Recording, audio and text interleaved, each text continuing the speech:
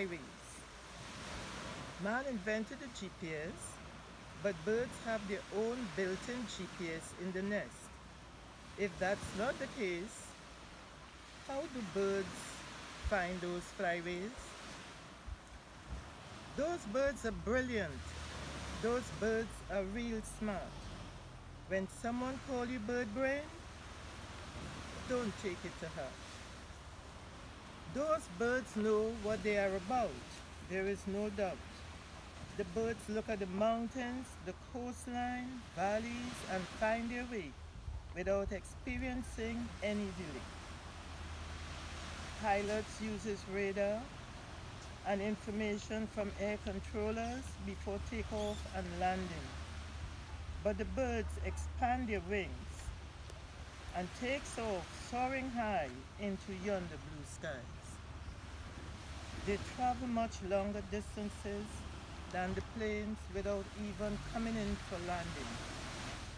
How the birds do it, I will never know.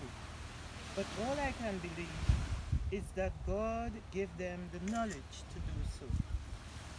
How do birds know that seasons change when winter is coming?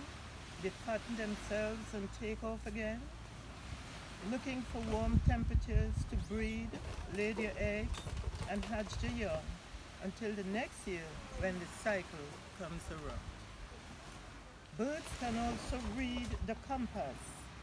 Then, how do they know to fly north and when to fly south?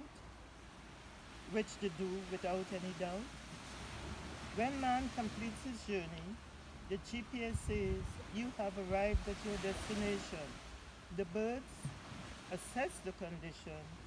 They just know when it's time to fly down. Be a solution to plastic pollution. Always walk with a garbage bag and pick up your trash. Do not throw it where the birds hatch.